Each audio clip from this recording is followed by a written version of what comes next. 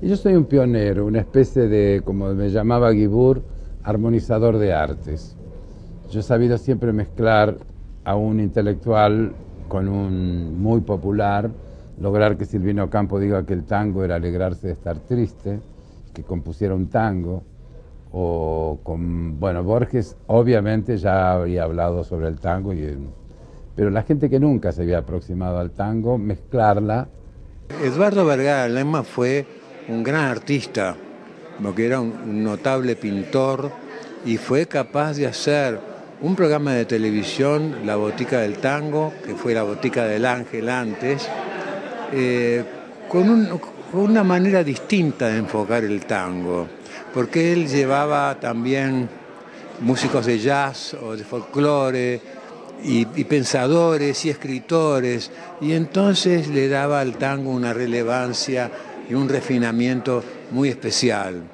Eh, era un creador, Eduardo Vergara Leumann, un hombre diferente. Aprovechó como nadie el color, cuando el blanco y negro pasó a ser color y él con los vestidos de las chicas, con la misma tela y el mismo diseño y dibujo que los chalecos de los varones una, cosa delicada y, refinada que no tuvo igual.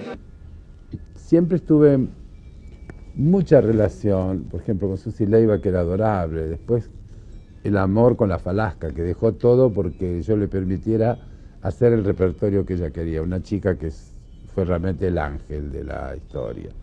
Rosita Quiroga, una amistad maravillosa, y con Libertad, que fue realmente eh, peleándonos. Yo empecé no queriendo hacer un traje, me harté en la prueba de ropa porque yo parece un voladito, y dije a Mestre, ah, no, yo no la aguanto, no la aguanto.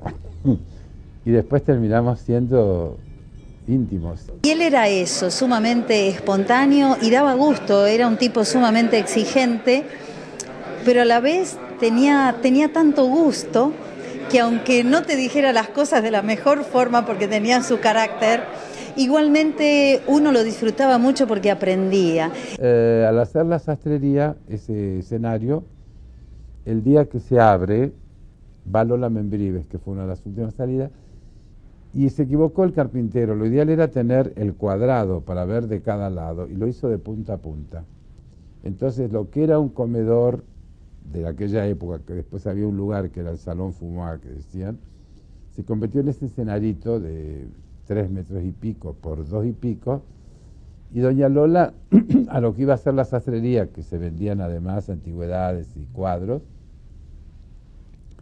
sube a esto y da los tres golpes y recitó La Lola se va a los puertos.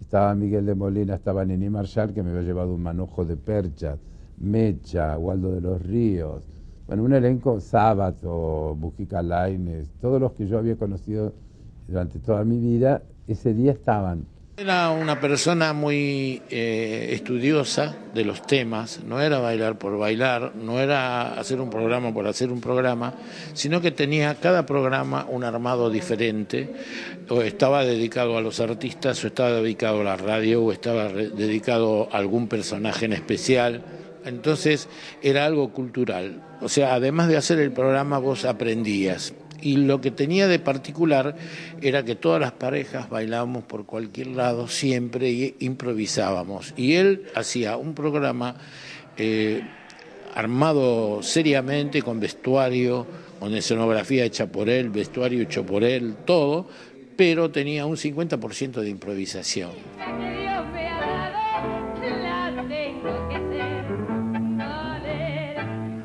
El tiempo en la televisión. Tenemos siete minutos más, ocho minutos, diez, podemos hacer lo que queramos.